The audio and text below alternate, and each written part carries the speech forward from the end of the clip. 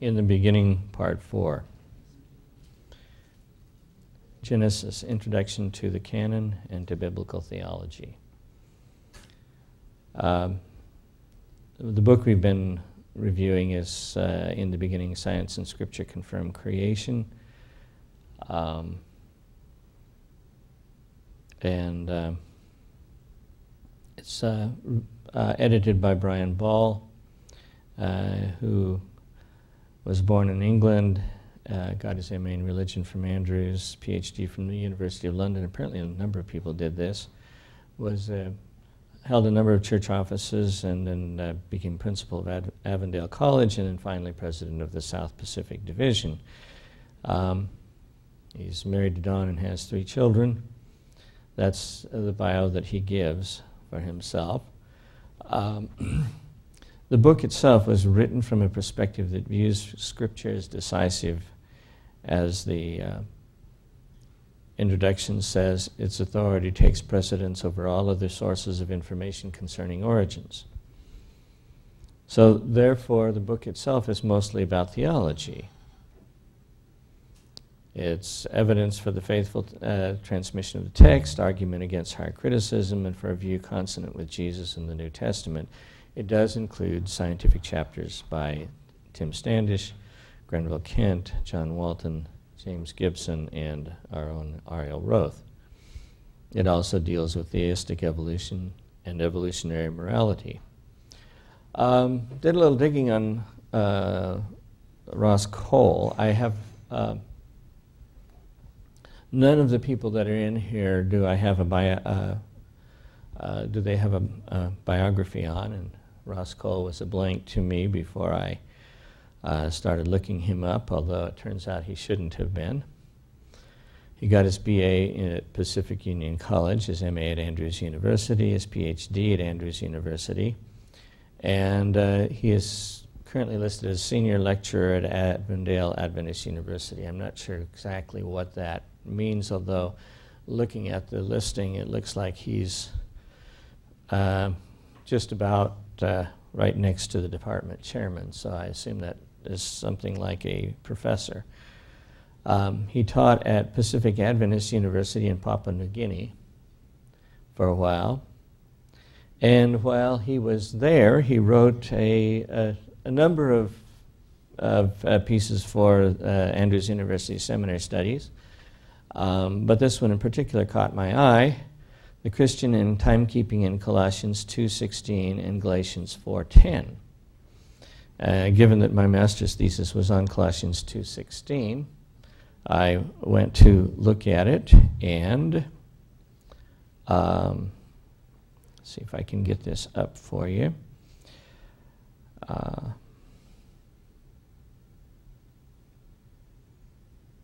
there. Uh, in the middle of this, I found, on the, on the other hand, it is not necessary to interpret Colossians 2 16, 17 as opposition to any sort of calendrical observance. If Colossians 2.16 does refer to the practice of the opponents of the Colossians and of Paul, um, it does not necessarily follow that the Colossians do not have the Colossians do not have positive counterparts, I presume, for the things that are being condemned. Desmond Ford notes that the apostle is not opposed to all eating and drinking, although he says in Colossians 2:16, "Let no one judge you in eating and drinking." He then suggests neither is he, the Colossians, the author of Colossians, against all Sabbath keeping. That was, by the way, uh, 1981, if you want to put it in perspective as to where Desmond Ford's thought has gone. Another interpreter points out that when the elements of the calendar in Colossians 2:16 are listed sequentially in the Old Testament, special sacrificial offerings prescribed for the sacred times are in view rather than the days themselves. It is beyond the scope of this article to explore the implications of these suggestions in detail. And if you scroll down, you will notice that uh, reference 26 is my article in uh, Andrews University. Uh, and then he finishes up to say, to the extent that the author of Colossians himself may have seen the Sabbath as predating sacrifice and offering, there would appear to be no basis for seeing Colossians 2.16 as a rejection of Sabbath keeping in its entirety. So that was uh, kind of a little sidelight that, uh, that uh, I found interesting. Um,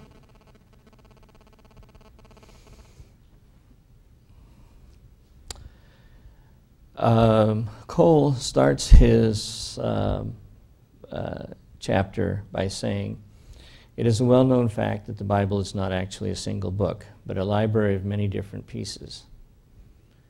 Yet, in the midst of this diversity, believers assert a deep unity, which, even in the case of Genesis itself, is today being reaffirmed by many biblical scholars. Uh, to continue, uh, most of what I'll be doing, there's a few paraphrases, most of it will be actual quotes, but obviously I'm not going to read the whole thing. Uh, trying to give you the, the most salient points that he's making. Uh, Genesis provides much more than a chronological starting point. Uh, why is Genesis the first book in the Scriptures? In a profound sense, it introduces the story and theology of Scriptures as a whole. Indeed, without the orientation it provides, there are important parts of the rest so subtle in their expression that we might overlook them altogether. These assertions especially apply to the so-called primeval history of Genesis 1:11 ironically, the portion of the book that to most modern and postmodern readers alike seems the most fantastic and least historical of all. Um, Cole gives 11 vital orienting themes in Genesis, especially in chapters 1 to 11. And they are the oneness of the sovereign God, the goodness of creation, the reality of cosmic conflict, the sinfulness of humanity, the balance of work and rest, marriage and the blessing of a helper, uh, the conditionality of life, that is, the non immortality of the soul, uh, the status of the remnant, redemption as a new creation, the coming Messiah, and the response of faith. Uh, to take the first one, the oneness of the sovereign God. In the ancient Babylonian creation account known as the Enuma Elish, gods themselves are the product of creation and are in turn agents of further acts of creation. Throughout the Old Testament, the active forms of the Hebrew uh, verb bara always have the deity as their subject. The dividing line between the creator and the created is absolute in Genesis as in contrast to the Enuma Elish. As agents of the divine, created objects are ascribed no divine status, not even of an honorary kind. Sun and moon are not even named in Genesis 1, lest in written translation into Babylonian or Egyptian, the symbol of divinity be attached to them as a necessary part of customary spelling it's an interesting uh, uh, perspective on that. They are simply called lights. Light itself is described as being created three days earlier, lest anyone or anything other than God Himself be seen as the source of light. Stars do not ordain human destiny. Their creation is almost an afterthought to that of the two great light bearers. Sea monsters are not gods to be defeated, but the mere playthings of the one true God. Human beings alone are said to be created in the image of God, but this assertion does not mean that they are God. When they cross the boundary to become like God, gods, a tragic, ungodlike expulsion from the garden is what follows, not exaltation to divine status.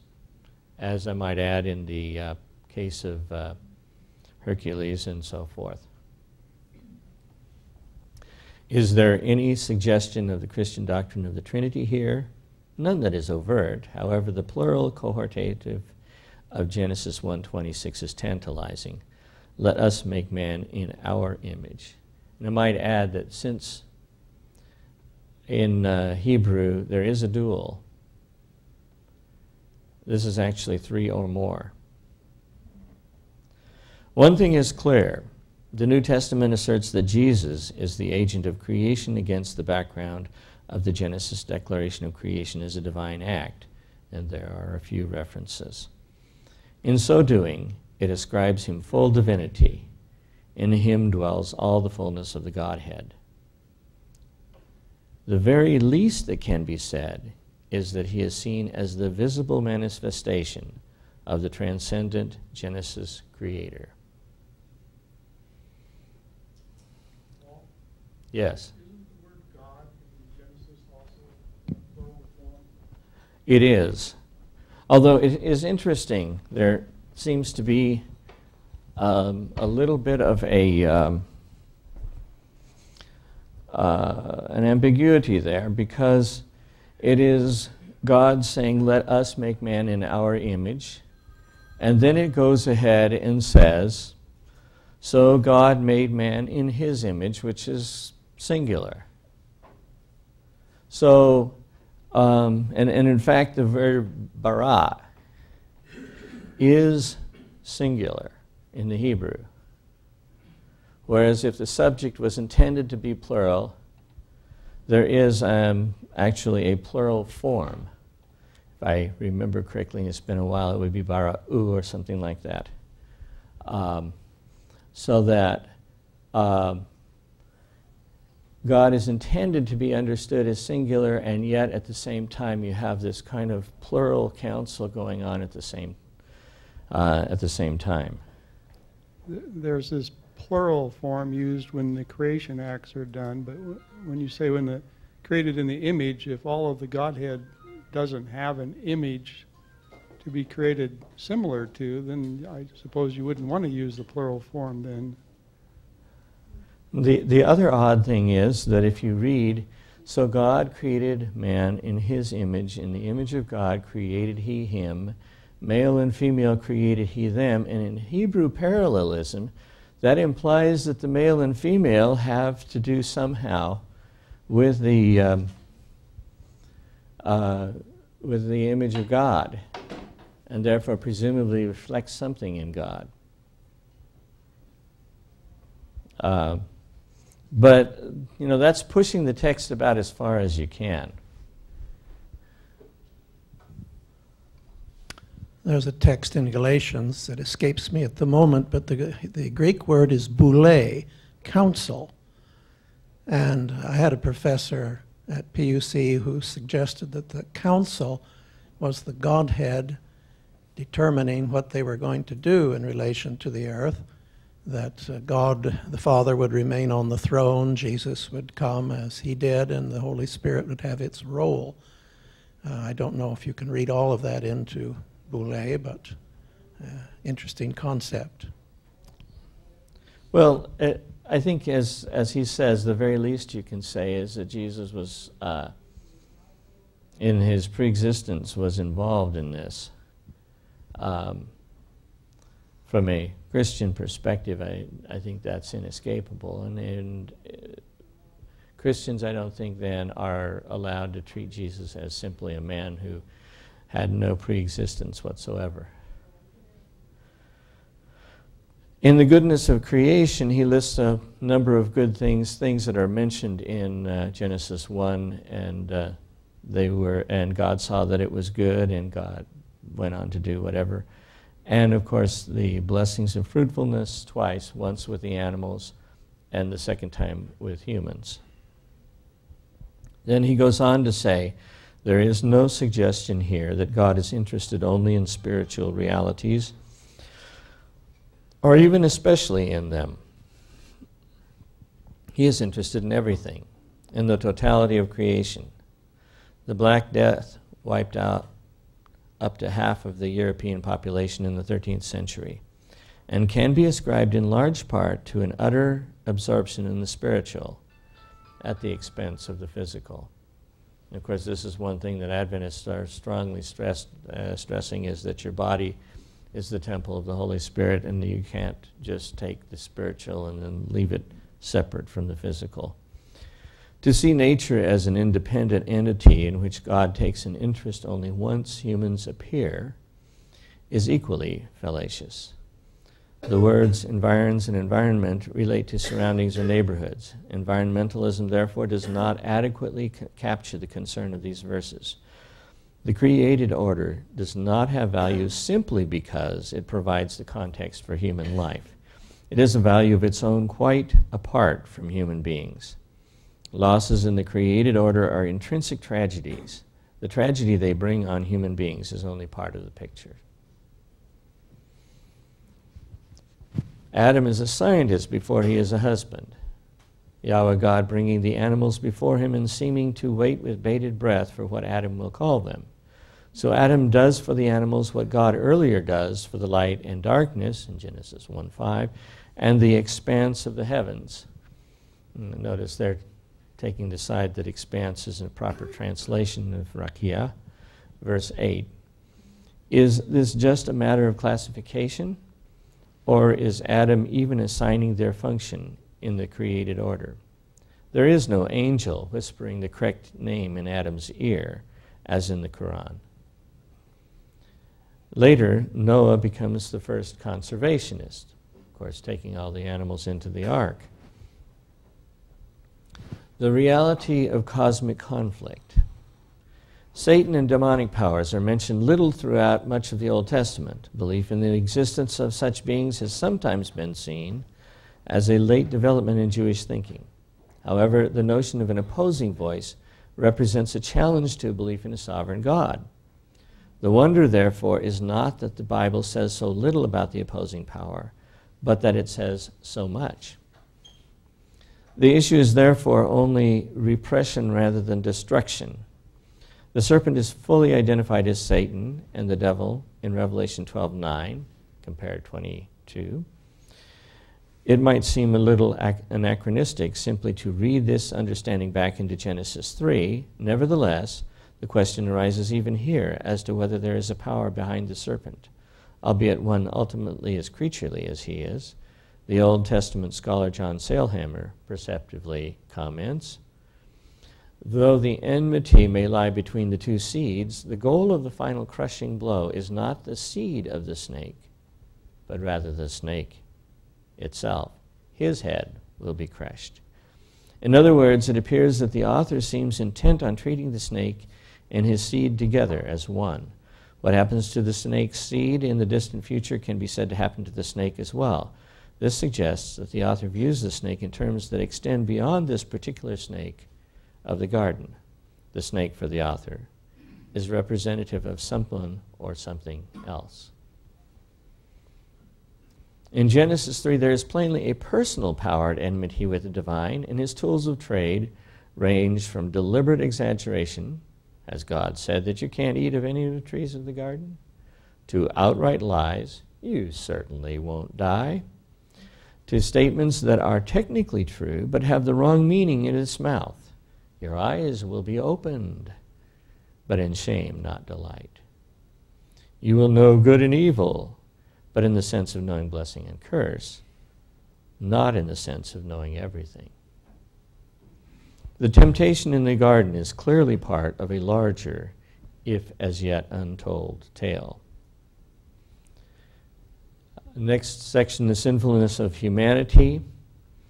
As he goes on to say if the first sin is stealing fruit, Genesis 3, the second is fratricide, Genesis 4 1 to 15, and soon bringing down vengeance for murder, actually, it's for an insult, murder for insult, is something to be delighted in, verses 23 and 24. In short order, the whole earth is filled with violence to the extent that God Himself is caught by surprise at the depth and persistence of human rebellion, or so it appears if one takes the words of Genesis 6:11 literally. The Lord was sorry he had made man on the earth and he was grieved in his heart. The promise never again to curse the ground on account of man, Genesis 8:21, appears to be based on a divine resignation to how inveterately evil human devising has become rather than on a, per, a compassion per se.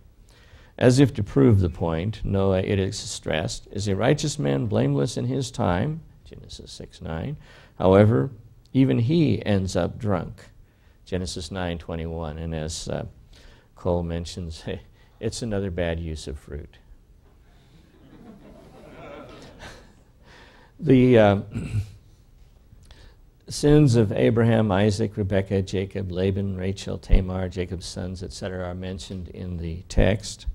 And then he goes on to say, as for people outside of Abraham's family, Sodom and Gomorrah are wiped out on account of their wickedness and depravity, and like the flood, become types of the end of the age. In Genesis, the Amorites have not yet filled up their cup of iniquity, but there is no doubt that fill it they will. The balance of work and rest, and this is one that uh, Cole is particularly interested in. Uh, as you may have noticed, uh, he's written a number of uh, texts on the Sabbath, including the one that I quoted earlier. In Genesis, work is clearly presented as a blessing, even in the unfallen state. It is then that humans are commanded to rule over other living creatures and subdue them, and Adam is placed in the garden to serve. And uh, the Hebrew word behind that is actually avad, from which we get eved, or slave. Um, however, from the beginning, there is provision for rest as well. There is no limitation to the divine power or exhaustion, but both the attenuation of time over work, that is, spreading out creation over six days, and the ceasing of work to rest when it is over, appear to be for the sake of humankind. In contrast to the situation in the Enuma Elish, where humans are created for no other reason than to give the gods rest while they slave away unceasingly. William Paley, famous for his theistic arguments from design, most of us are familiar with uh, that, ably put the case for the ongoing significance of creation ordinances, much and all as he believed the Sabbath was only instituted at the Exodus. He said, if the divine command was actually delivered at the creation, it was addressed, no doubt, to the whole human species alike and continues, unless repealed by some subsequent revelation binding upon all who come to the knowledge of it. Marriage and the blessing of a helper. It is not good for the man to be alone. So Yahweh God therefore makes a woman, a helper suitable for him, Genesis 2:18, or comparable to him, as the New King James Version puts it, or better still, a power equal to him, as David Noel Freedman argued. Um, the Genesis paradigm for male-female relationships hardly seems to match at all the values of the patriarchal culture through which the story has come to us. For this reason, a man will leave his father and mother and be united to his wife However, in ancient Israel, it was woman, women who left and the men who stayed. Yet herein we see the power of stories that transcend their setting to sow the seeds of change. The conditionality of life. In line with the Genesis emphasis on the goodness of creation, there is no hint of an incorporeal human existence before the creation. To the mind of the writer, incorporeal and human would be oxymoronic. The expulsion from the garden is precisely to ensure that humans in their sinfulness do not take from the tree of life and live forever. To claim that death is anything other than death is to repeat the serpent's lie. The genealogies throughout Genesis confirm like a drum roll the reality of death even when life is long the status of the remnant. Enmity is placed between the seed of the women and the seed of the serpent as a whole. Uh, that's actually the way he wrote it. Uh, he used the plural. Uh, yet there is a narrowing interest in a particular seed throughout Genesis. Cain's line is vanquished and Seth's line replaces it. Only Noah and his family survive the flood. Canaan is early removed from particular focus. Abraham becomes the person of special focus. Yet, in a point Paul delights to emphasize, Ishmael is not the child of promise, and Jacob inherits the birthright above Esau. In a process of time and in language anticipating Revelation 12:17, the focus is always on a remnant of the woman's seed. Indeed, the root of the Hebrew verb used in Genesis 7:23, and only Noah was left, is identical to that of a nominal form, often translated sha'ar, as remnant throughout the Old Testament. Reading the story of Genesis, a picture readily emerged of remnants who appeared concerned primarily for their own existence and little more. Do Pharaoh or Abimelech feel blessed by their encounter with Abraham? Or does Hagar, for that matter, at least in the short term? Simeon and Levi slaughter the Shechemites make Jacob odious among the inhabitants of the land. Joseph saves the Egyptians from famine, but they lose Yahweh's call, pardon me, but they lose their land to Pharaoh in the process. Yet in Yahweh's call to Abraham, it is promised that uh, he shall be a blessing, and that in him all families of the earth shall be blessed. I think that's one that I mistyped. The tension between this introduction and what follows is profound. However, it might scarcely be noted if it were not for the extended introduction to the story of Abraham's family provided by Genesis 1 to 11. Abram, Abram's story is a divinely initiated counterbalance to what has threatened to be a global catastrophe and does not reach its ultimate fulfillment until reinterpreted in the New Testament. So it is ever when God works for the, with the particular. The selection of the particular is never an end in itself. And those of us who think we are part of the remnant should take this to heart, I think. It is always intended as a channel of blessing on a wider, even global scale. So the idea of a remnant soon becomes apparent in Genesis, and may even have been in Jesus' mind when he spoke of the few ultimately being chosen. Redemption as a new creation. The flood is a reversal of creation, with the boundaries set on the second day between the waters above and the waters below now obliterated and the separation between land and sea on the third day now nullified. Then the windows of heaven close again, the foundations of the deep, dry up, dry land reemerges, and creation ordinances are reiterated for the new creation.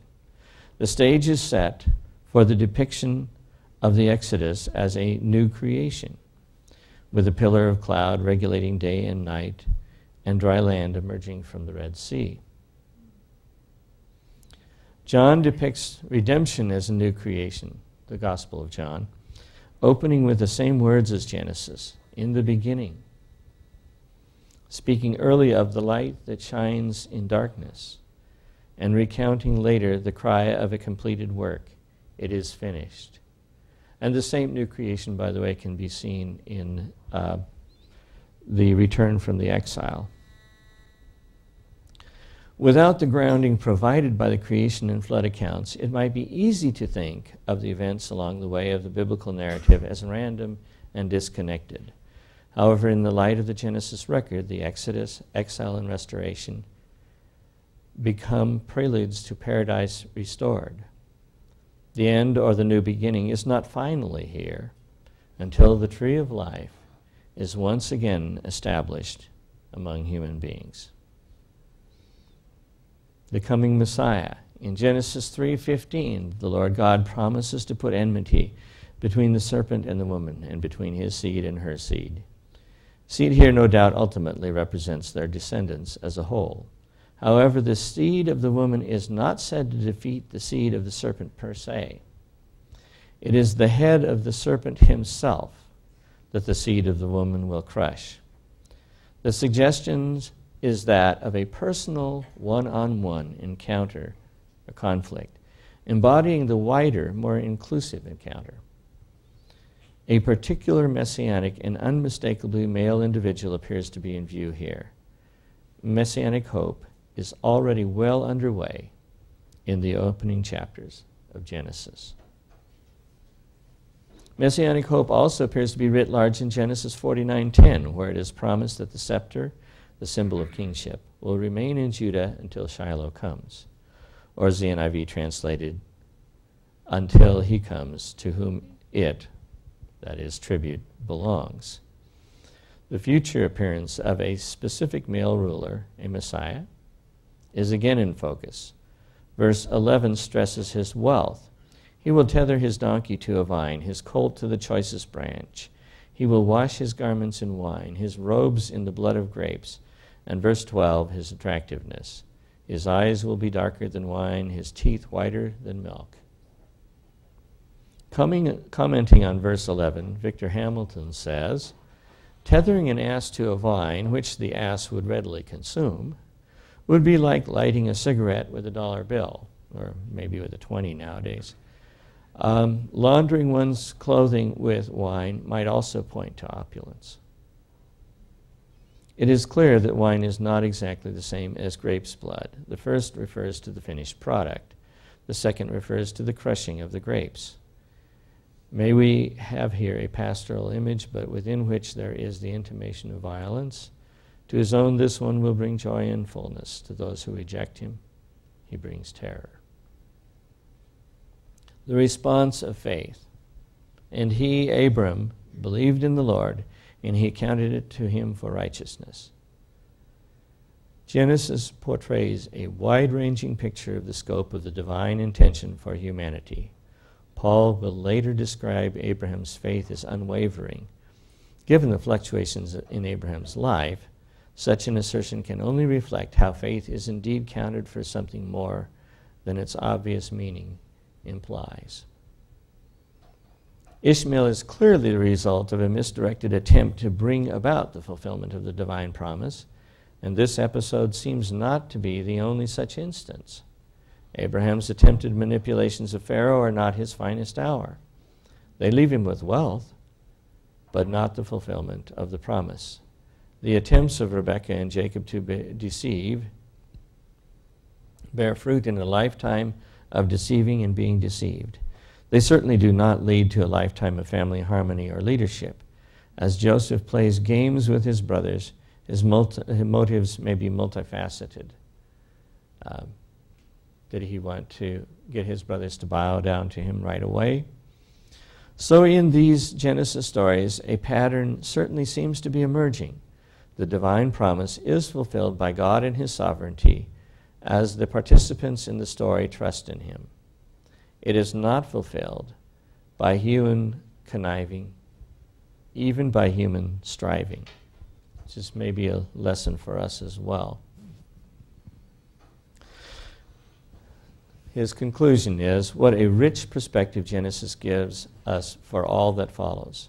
Israel's God is no tribal God of a limited space. He is the eternal, transcendent sole creator of all. Creation is good, and God is not just interested in, quote, spiritual, end quote, things. He's interested in everything, including how we care for His creation. The human drama is part of a large cosmic conflict between good and evil in which the very nature of truth is at stake. There's a profound inclination to sin in fallen human beings, one too profound for humans themselves to fix. Life is not all about work, it is also about rest and relationship. The Sabbath is not a mere identity marker for Jews, it is a universal symbol of divine grace. No part of a human being is innately immortal, for life can only ever be a gift from God. We were not created to be alone, and marriage is a divine gift to human beings, not simply an institution of human devising. God works through shattered remnants, but not simply for their own sakes. They are his agents for a global salvation. Redemption is creation restored. The meta narrative undergirding all biblical narratives is paradise lost and found again. The coming of the suffering yet triumphant Messiah is assured. Human conniving to assist the divine will is doomed to failure, as are all human attempts to earn either divine favor or the fulfillment of divine promise. Faith is the only appropriate response to the Creator. Such is the diverse and fundamental theological content of Genesis, briefly as it has been surveyed here. It is self evidently foundational to the rest of the Bible, and therefore a fitting introduction to the canon of Scripture. James McKeown concludes and uh, the author obviously agrees with him. The book of Genesis has many interrelated themes and characters. It is well suited to be a book of beginnings, since many of these themes and characters are found throughout the Old and New Testament. Now, my take on this, I, I do agree with Dr. Cole. You can see where it fits into the defense of the scriptural story of Genesis. There is such a thing as propositional revelation. The text is reliable, the word speaks for itself. Genesis is theologically sound. Well, more than theologically sound, it, it really forms the undergirding for the rest of Scripture. Um, Genesis is ancient. Uh, Genesis describes a recent creation. Creation and biblical theology are mutually supportive. The New Testament supports the Genesis creation. Creation is more compatible with Jesus than evolution. And finally, they will discuss scientific arguments, ethics, and an attempt to make some kind of compromise. The book of Genesis gives the background for much of the theological emphasis of later books. I think he's amply demonstrated that, which are sometimes explicitly dependent on Genesis. When Jesus says, as it was in the days of Noah, he is assuming that there was a real Noah. Believing in Genesis allows us to sensibly believe these theological themes and the evidence for them. Now, this line of reasoning cannot prove the actual authority of Genesis, because that would be circular. But it may help us to understand the stakes involved and to be careful about throwing out the authority of Genesis and especially the authority of the first 11 chapters. And with that, I will open the floor officially for comments and questions.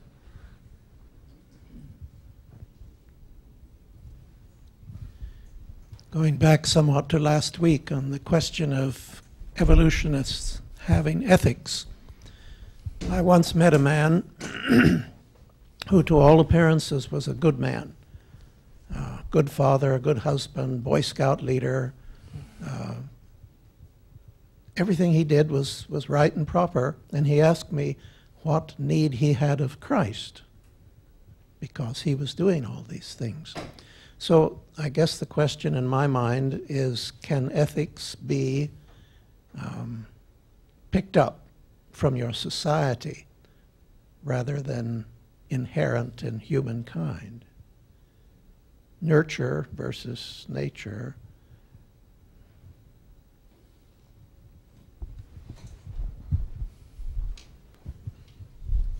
Um, may I suggest that that the way uh, that the whole creation is put together is that trust is an integral component of uh, of everything that's been built.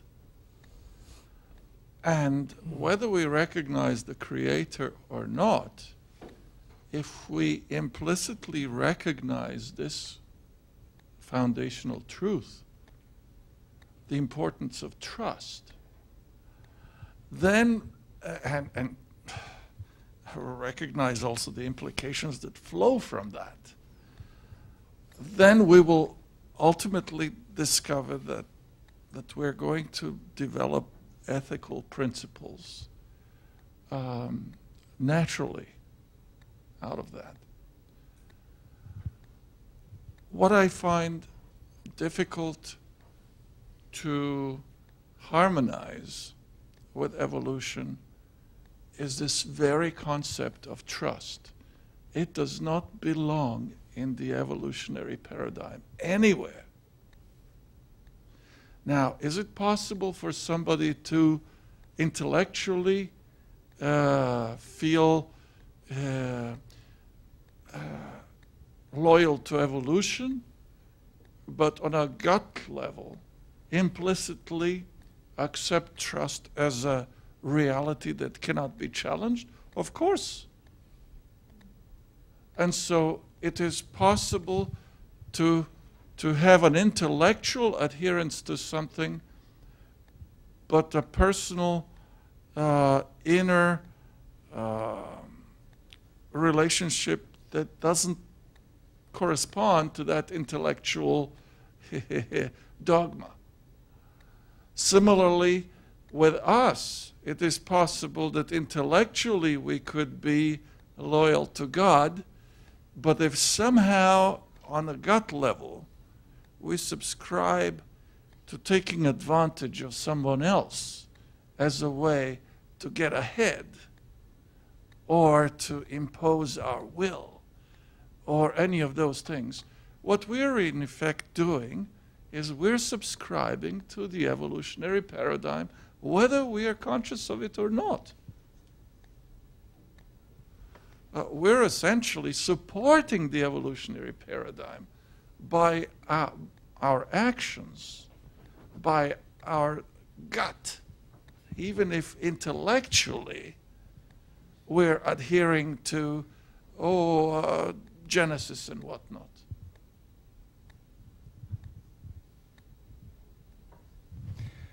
I'd like to make a little observation between last week and this week. Last week, we brought up a question about something specific. It was about the ethics from God versus the ethics that come from nowhere. Today, you know, it was kind of driving me crazy because he was writing very safely. He used the, article "uh" on all of his concepts. It's just like saying, Where, "What, what direction is Seattle?" And you say, "This way." And um, instead of saying, "Well, I, what I wanted to know is what was the direction, not what is a direction," and it seems like You went in something stuff- more, more than just north, which gives you a, a Right. 90 degree angle. if you if you go through all the stuff you've read, he uses a lot of the article a. You know, as in when the article a is used, you know, this is grammar grammar thing. Um, it's not specific, whereas when you use the, it's specific.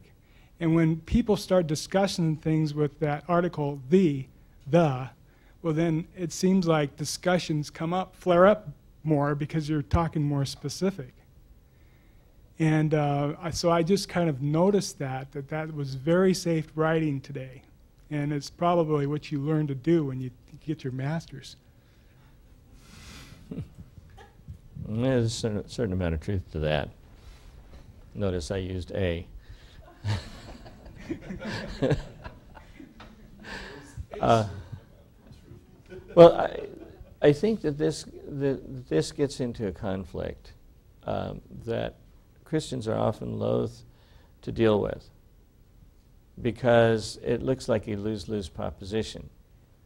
If you say to this wonderful Boy Scout leader, well, um, no, your ethics actually are, are Christian ethics to begin with, uh, and you got them without having to ha- surrender your life to Jesus Christ, then it sounds like surrendering your life to Jesus Christ doesn't matter. Or, or that it's almost like a cost. Um, on the other hand, if you say, no, you're really not good enough, um, then it sounds like you're being very, very exclusionary. No matter wh- how good you are, what you do, um, you know, if you don't acknowledge the name of Jesus, you're you're not going to be saved. And that, quite frankly, is pretty much indefensible when you start looking at the margins. That is to say, the Bereans who were good Jews before they, or perhaps good Gentile students before they heard from the Apostle Paul about the story of Jesus, if they died in that state, are they saved? Well, it's pretty hard to say no. Um, and it's pretty hard to not uh, say yes, even after Jesus' death made a difference. So, what do you do when you're caught in that kind of a, a, a difficulty? And that's, that's the problem that your example gives. And it raises a question what is salvation for anyway? I guess we have a question back here. I guess I would want to know what, what our assumption of good is. because in Jesus' time there was definitely assumption of what was right and good. And when he came along, he totally destroyed the idea of what is good. Of course, there are certain things we can all agree on as being good, selflessness and so forth, as was mentioned. But I think people can do things that we would say good in society or good within the church, but looking at from Jesus' perspective or from God's perspective, it may not in fact be good. So I don't know if, if, if our focus on being, how do we get to goodness is really the, the point. Maybe the focus is how do we get to God? Because by doing that, we then become truly good in the sense that Jesus is good.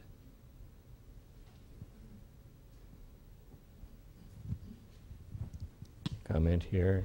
Uh, it reminds me of that parable uh, that Jesus talked about two sons whom the father sent into his field to work. And one said, Okay, but didn't go. And the other one says, No. But then decided he was going to go anyway. And then Jesus asked an important question Who did the father's bidding? And then he followed it up with an important statement the publicans and sinners are going to go in ahead of you. And that was like telling So them that, you know, the, the, the prostitutes down the street and the drug addicts, they're, they've got it in ahead of you. So is it Ooh. possible that some evolutionists might get to kingdom before us? Well, it, it certainly sounds that way. Uh, you know, I think maybe there is an important point that that uh, uh, that will that should be brought up in this context when somebody asks that kind of a question, and that is to say, are you willing to admit when you're wrong? And the reason I bring that up is because every single one of us in this room, myself included, has some wrong ideas. And our getting to the kingdom is going to be dependent on our willingness to give those up when the evidence gets strong enough against them. If we're not willing to do that, then we have pride of our ideas that is that will keep us out of the kingdom because God can't correct us unless we're willing to be corrected. Um, in the parable, which as I understand it is actually not a true parable, but perhaps a actually Jesus seeing this happening and commenting on it. There's a Pharisee who says, you know, I've done all these things. And there's a publican who said, God be merciful to me, a sinner, basically admitting, I've blown it, and you're the only one that can help. The first two steps of the 12 step program, by the way. And Jesus goes on to say, This man went justified to his home. That's the word that we all fight about, you know. Dikaiao is a justification by faith, righteousness by faith. All of those things you've heard about. When Jesus talks about it, he says, the important thing is that you're willing to admit that you're wrong. And if you can do that, I have no problem with the atheist being in heaven because when he runs into God, he's going to say, Oops, I guess I blew it. um, whereas, you know, if he can't do that, he's going to be miserable because he's got to keep denying what he said at one time uh, he didn't believe in uh, in the teeth of the evidence. And that'll make for a miserable existence. God wouldn't want him there, being miserable that way. You know, the, the key to Peter being there is not that he is Jesus' disciple.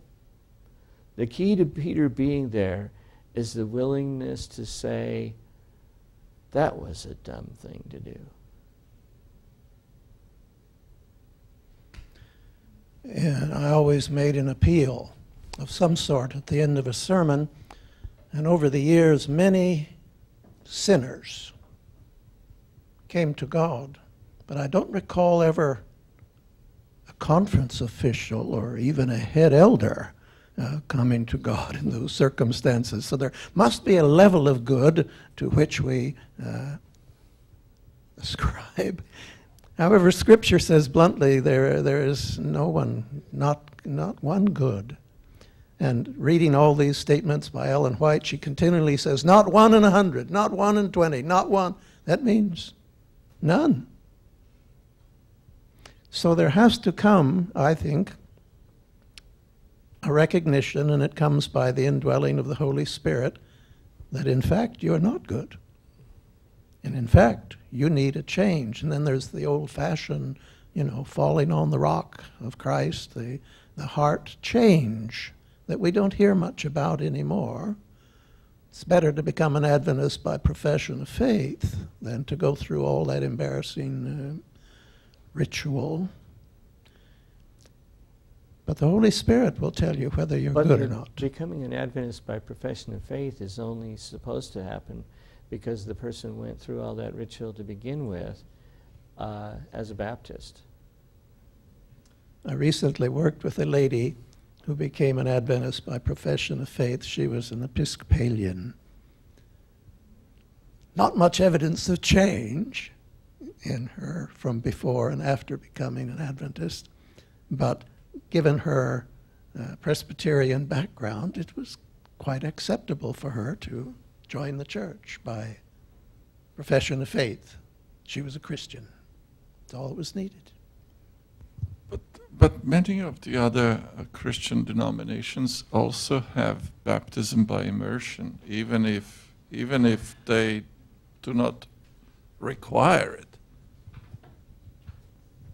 Well, the, the point is uh, even not, although, although technically we do try to get, encourage people to follow the Savior's example, of course, we as Adventists never claimed, um, at least most of us, um, that salvation is only of the Adventist church. Um, but it's, it seems like we have to be we have to be careful to say that no, uh, what is necessary is not really baptism so much as the surrender of your life to God. And that's really where the key is. And that's why I say if, if this man has surrendered his life to the truth as he knows it and is willing to follow that anywhere he, he, uh, it leads him, I, I am quite sure that uh, God is capable of leading him where he needs to go. On the other hand, if he is maintaining that I'm good enough to do it alone, he's in for a rude surprise in a number of different ways. A couple different things. The, I think Christ expanding on the law addresses that. For if you hate your brother, you've murdered him, etc. If you lust and you've committed adultery and so forth. So that I think that for an individual to say that they're good enough, they are simply ascribing themselves a ranking among others, as looking to other people and saying, "Well, I'm better than them, and therefore I'm good enough," as opposed to holding a higher standard. The second thing is there's an inconsistency of worldview that bothers me with with um, with being an evolutionist or an atheist and then having to deal with what the origin of, of morals are and what the origin of right and wrong. Why would you say you're good enough if you have no moral basis for what's good or bad? You have no absolute for a basis for that, then there is no reason for you to say that you are good under an evolutionary theory. You don't have a basis for that because what is good without that absolute moral standard. Well, the, the question might be asked of somebody who believes in a God, but just not sure that Christianity is correct. And So they would have an absolute. they would They're just not sure that the, the you have to believe in Christ in order to. Yeah, one can actually believe in an absolute good. It's tough. And I think that evolutionary theory makes it tougher because You know, the way ahead at one time was survival of the fittest, a pure, unmitigated selfishness with the only, well, the only mitigation being that you also can accept uh, your kin being part of it. Um, and then, and then you move on somehow to how we're supposed to be cooperative. It's interesting because you can hear Richard Dawkins wrestle with this very problem, and he recognizes it as a problem. Um, uh, sometimes we sell these people a little short because they don't see our, everything our way, um, but they do actually recognize some problems, and they try, I think, somewhat ineffectively, but they do try to deal with it. Two things. The, um, the hypothetical case that came up, it sounds like um, if, if one has a good set of ethics and moral values and moral behaviors, they can make it and fit in with society during this life, but there is an afterlife. And that's what that part doesn't fix. And even recognizing one is wrong isn't, I don't think, adequate according to the scriptures. It is recognizing that there is one that has taken your place and has done right in your behalf and asking for that to be placed to your account. So that's at least how I see it. Um, without that, your life is your life, and when it's over, you'll have to. If you didn't accept, then you won't be accepted. And the other thing, I had a question about um, in uh, th- this this chapter on Genesis, on Genesis was really enlightening to me that it is such a profound introduction to the Bible. And I'm wondering, was it the beginning of even the Hebrew literature? Because I know they organized uh, their, their writings in a different way than the Bible has it now. In the traditional, to take the second question first, in the traditional way of looking at things, um, Genesis was one of the first two books written, the other one being Job. And it's debatable as to which one came first, but if Genesis, in fact, is reliant on uh, even older records, uh, which uh, I think will be argued in one of our future chapters, uh, then Genesis is, in fact, the very first uh, material we have in Hebrew. It's uh, now 11:30, and so uh, I, I know some of you need to be elsewhere. But we'll continue for a little bit longer. Um, the, the one other thing I would point out is this that there are a lot of people who are going to be saved who have no clue as to who Jesus is or what he's done. Because uh, in some cases, they lived before Jesus' life or death. And while you can see prophecies that sometimes point in that direction, I have my doubts as to whether everybody clearly understood all of the prophecies. Um, certainly, the disciples didn't seem to understand them, nor did the Pharisees at the beginning. Um, two of the probably closest students of the prophecies. So that I don't think it is necessary to understand a full view of atonement in order to be saved. To take the example of the publican again, God be merciful to me, a sinner, is an adequate prayer.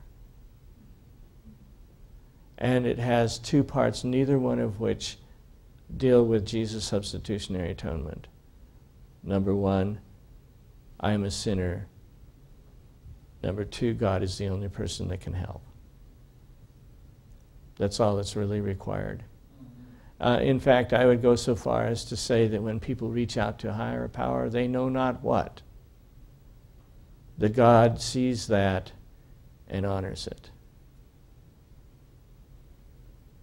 Um, here and then back there. Yeah, I was just going to add to that that there will be people who will be saved who've never heard of God or Jesus. They've just responded to the good that they've seen in their in their life, and and um, they will be saved because of that. I think it's unfortunate that we, we have no problem with the child that died before they heard of Christ or the people before. I'm afraid there's a whole lot of people all around us who have not had Christ represented to them adequately. They may have heard of Christianity, but I had an article in a, from a, a group that I actually like a lot and like the work they're doing, but they had an article in a recent magazine about why eternal hell, which is one of the biggest things I see atheists list as their reason for not believing in a God. And this pastor was going on and on in circular reasoning, trying to explain why a God, which quotes is so holy, he's so holy that he has to torture these people forever. And it made no sense. And yet, I'm afraid that there are an awful lot of people that, that in the scientific community also that have heard of Christianity, but what they have heard is not Christianity or not our Lord and our Savior and the loving God that we serve. And so they may reject Christianity, but not reject God only because they've never met God or Christ as we know him. And that's probably should point to us to try and demonstrate that in a loving fashion. And they're essentially rejecting a misrepresentation. So it You know, sometimes I'm very tempted that. to say to them when this discussion comes up, and occasionally do, well, you know, I don't believe in that God, kind of God either.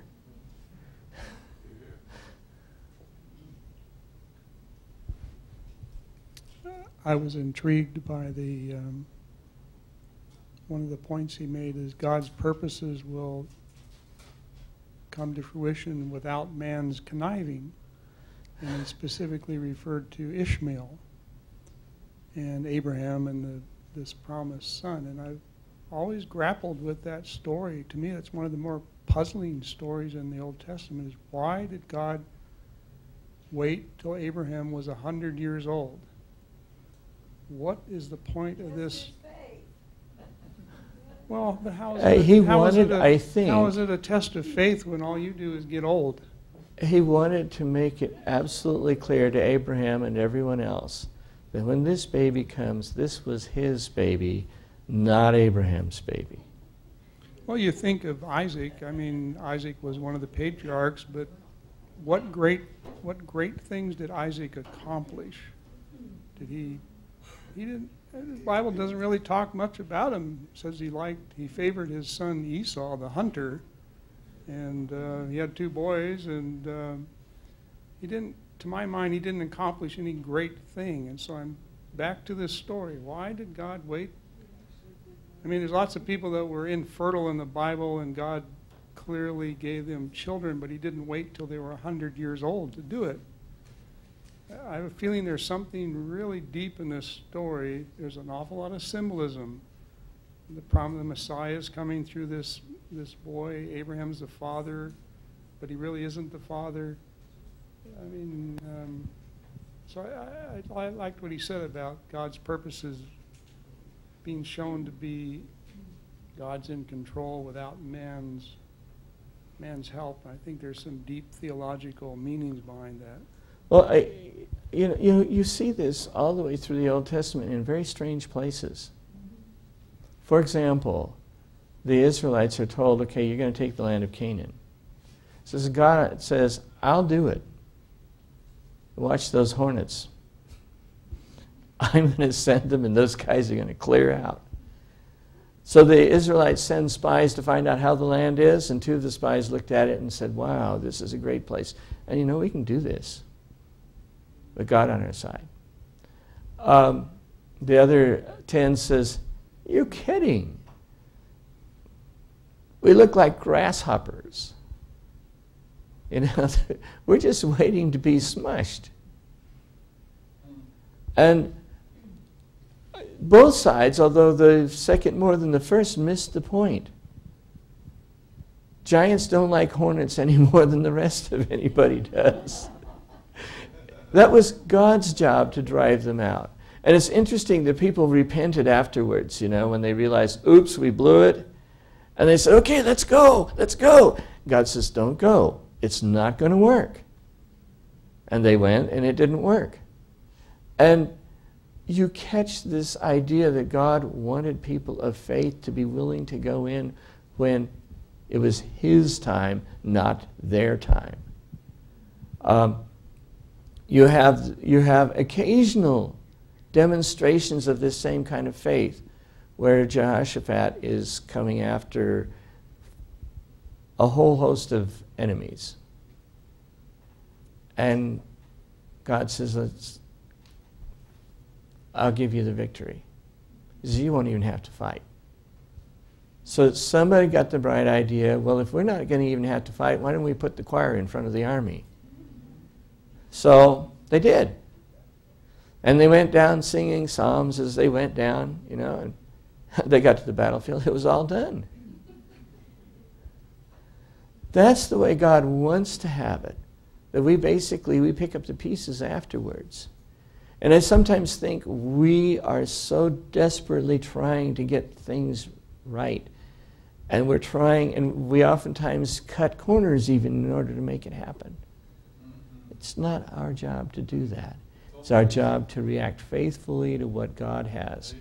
And I think we, we need to be careful when we run into difficulties within our church that we don't do the same kind of thing. That we, that we are very careful not to try to take God's place in the fight. Because, you know, God says, Vengeance is mine, I will repay. Anyway, I think there's a comment up here. I, was just, just going to say that I think sometimes God wants to show the universe too uh, that this person really did have faith, and I think that's why he waits sometimes. There, there's to, probably a lot of truth them. to that, and it really took a while before Abraham could finally demonstrate his faith. And that's, by the way, the reason why Abraham finally wound up having to be. God never intended to put Abraham to quite that hard of a test. But he'd already blown it so many other times that he probably pretty much had to demonstrate no, Abraham really does have this kind of faith. No, the what you were speaking about with the God wanting to have his way without us trying to help him. Uh, the remnant, which was mentioned here, seems to be, at least in my mind, those people who are responding and who are willing to listen as God works through them uh, but it, it, it, would seem to me, as people who claim to be the remnant, that the worst thing that we could do is try to help God fulfill His purpose for us if we believe we are the remnant, are part of the remnant. Um, and yet, I think we do that a lot as a church. Um, and maybe me as an individual member of the church to say this is what we should be doing or what we ought to, how we ought to be, when we, instead maybe what we should be doing is letting God do with us what He will. Um, and it may not look the way we expect it to. I don't know. I, I think I agree with that. I was wondering, this is a hypothetical. Just a minute here. Sorry. I was wondering if Israel, after the spies returned back from their mm, seeing out the land of Canaan, uh, when they came back to their own people, if Israel with Moses came to the uh, sanctuary and said, Let it be unto us as the Lord has decided, kind of very much like what Mary said when an angel came to her to tell her that she's going to have a child out of wedlock. You know what I'm saying? Would they still be wondering for 40 years? I suspect not. But because they chose the hard route, God had to accommodate them.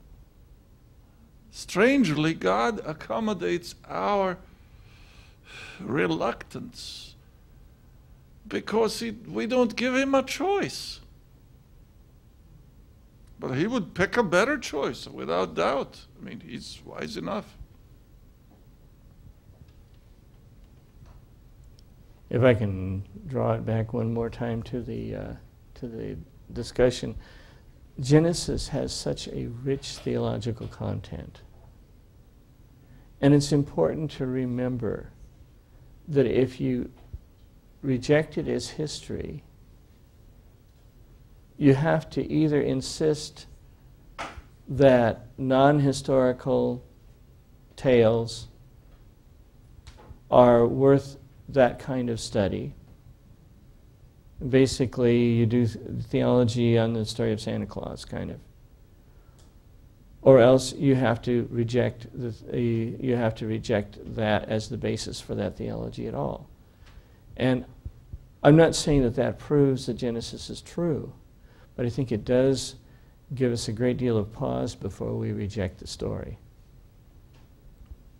And I think that for those of us who do believe it's true, this is actually an important chapter because it draws out the meaning of what it is to say that Genesis is in fact true. It's saying that all those implications that are in there are true. Uh, I would just add to that that uh, when you reject Genesis, you're not just rejecting Genesis you're rejecting the authority and the integrity of other usually accepted uh, personalities in the Bible that refer to Genesis as though it's true. It's, uh, it's uh, the, the flood is often referred to, I, not always, but by, you know, Paul and uh, uh, Peter and uh, Christ and so on, and uh, creation. You're saying that the whole structure of the Gospel of John is based on a myth. Yeah, this is um, so it, it's uh, it's not easy to reject Genesis.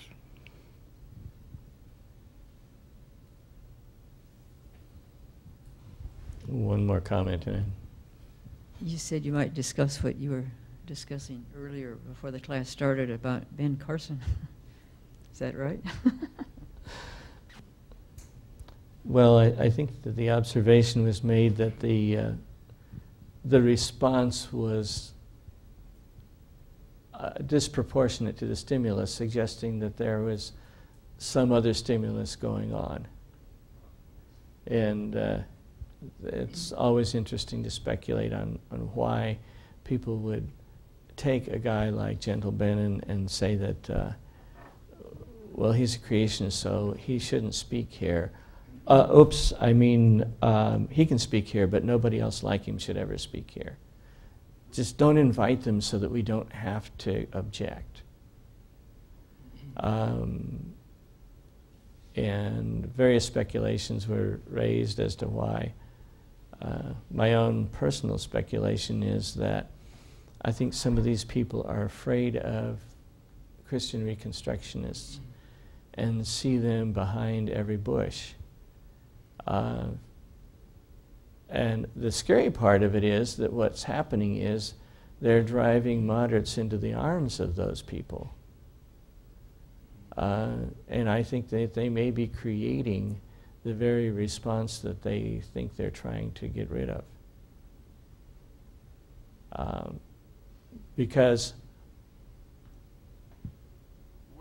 once once you get lumped in with those people, there's a temptation to say, well, you know, they can't be that bad uh, because that's where they're pigeoned. If, if I've got to choose between your way and their way, I'd rather have their way.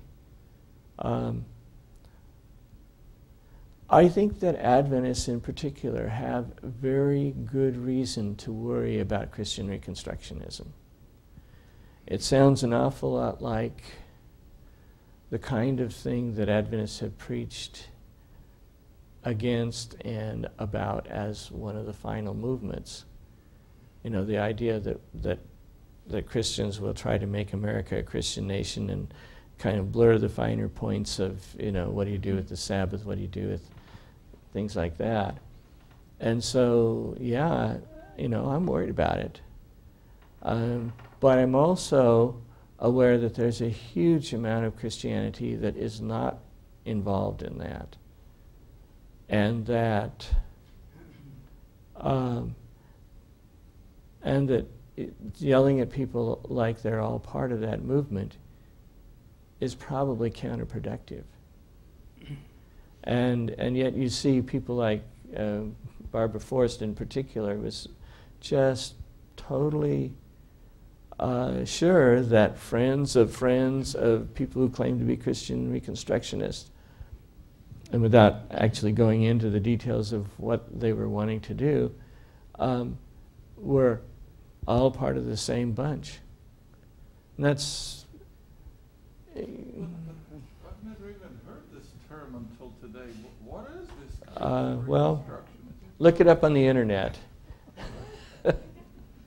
That's one of the things about uh, the, the life today is that uh, there is nothing that can be kept secret anymore, at least well kept. And Were um, any of the faculty against Ben Carson coming? Because I'm just wondering, well, who thought of inviting him, and weren't any of these evolutionists in on the decision to invite him? And so, how did he get invited if there were so many Well, who didn't think- want him there? I think the faculty heard, oh, this is a wonderful guy. You know, he's black, he comes from the ghetto. He basically kind of pulled himself up by his bootstraps. Uh, although, if you listen to him, obviously that's not quite accurate. It, uh, there was his mother and his God that, between the two of them, did a lot for him. And, um, and now he's become a philanthropist as well. You know, I mean, he had several foundations trying to help kids to read, all kinds of stuff like that. Um, just a wonderful all around person, really accomplished scientist. You know, if you have Siamese twins that are joined at the head, if you want anybody to operate on them right now, it'd be Ben Carson. That's just the facts. Um, wonderful story. And they had never heard of this Adventist stuff that was on the internet. And I'm sure what happened was that somebody put a bug in somebody's ear. Hey, do you want this guy? And um, I suspect that the biology professors at first were going, no, you can't have this guy. And then they realized, do you realize who you're dealing with? This is Ben Carson. Can't treat him like that. And so they suddenly kind of got cold feet and said, oh, no, it's okay if he speaks. We just don't want anybody else speaking. And they arranged for that not to happen. Um, but there are people around who see things in that kind of black and white. Either you believe or you don't believe, and if you don't believe, you don't have any business in academia. And the fact that Ben Carson is even there is an insult to them. So it, it bugs them. Uh, they couldn't do anything. Um, w- We tend to be constructionists, I think, because there are sociological uh, factors. We like to be, you know, sometimes it's, you know, us versus them. We, uh, I mean, talk about Republicans and Democrats as an example. I mean, it's, uh, we tend to organize ourselves into this, and, uh, I, but I think this is, we need to avoid this. Uh, I don't know what happened in Ben Carson's case. But I do know that we deal with a God who is relentlessly trying to redeem everybody.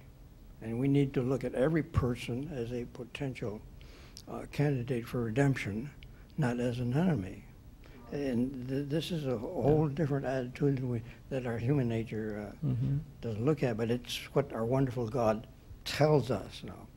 Uh, when I was at the University of Michigan, uh, that university and the department I'd been in had, uh, I didn't know this when I applied there, and I didn't know Ellen White said you should not go there unless you have a strong faith, but uh, two Adventists have been asked to leave in that department. And then they discovered they had another Adventist there, who was me.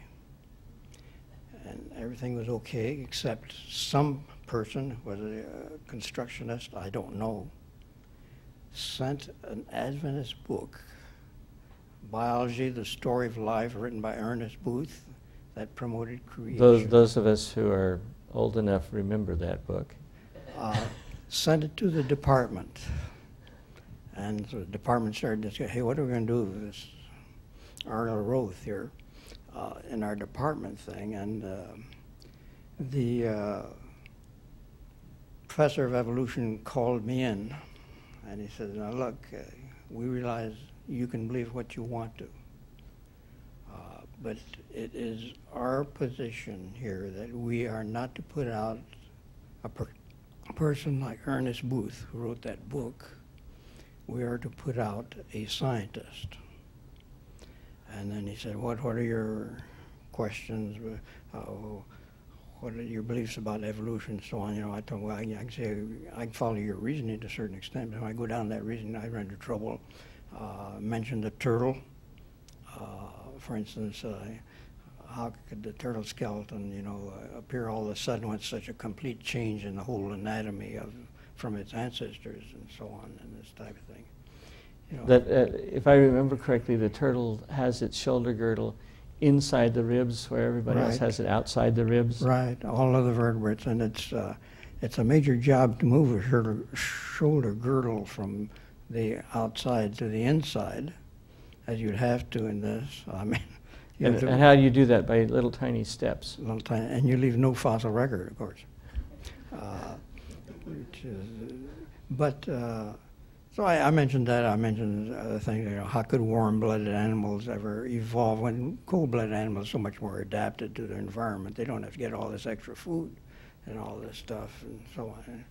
And after about 20 minutes, he says, he says, "You're okay." Why? I talked his language. I stayed in the scientific realm.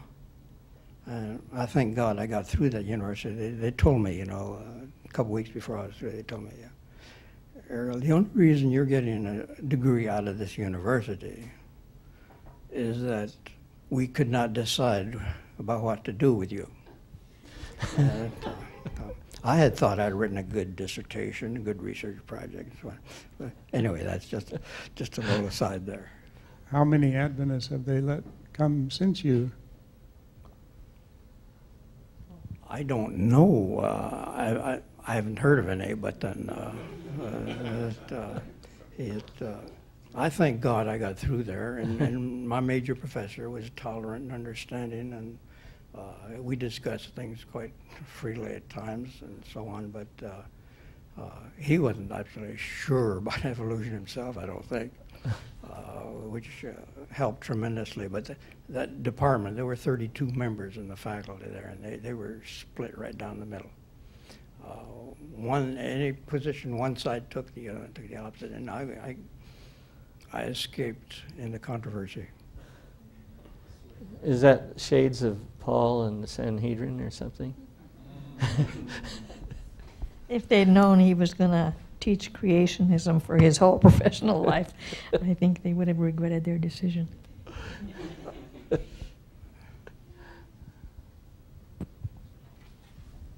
Well, thank you very much, and uh, we will uh, see you again next week.